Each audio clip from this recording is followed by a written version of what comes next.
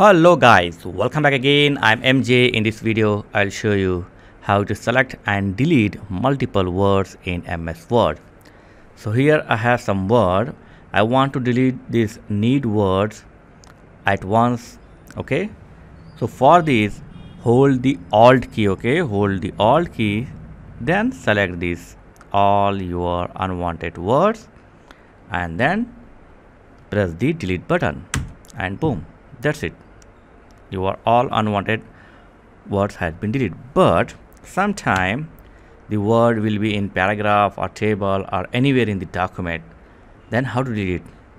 So let me show. So here i have did the undo.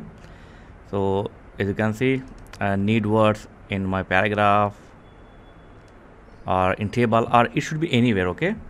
So at this situation you can follow one more method to delete the your unwanted word from entire word document. For this press Ctrl H and in the find word type your word which you are going to delete. Like I, I want to delete the need. So here I will type need. And in the replace with just don't type anything here. And then simply click on replace all. And boom that's it it's showing well all done. We made 28 replacement. Okay that's it. Now there is no need word on entire your ms word document. As you can see all need word has been deleted.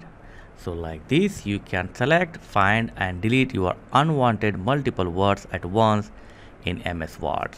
I hope you like this video and 99% viewer did not subscribing to my channel. If you got any help then please subscribe to my channel. Thank you. Take care. Bye bye.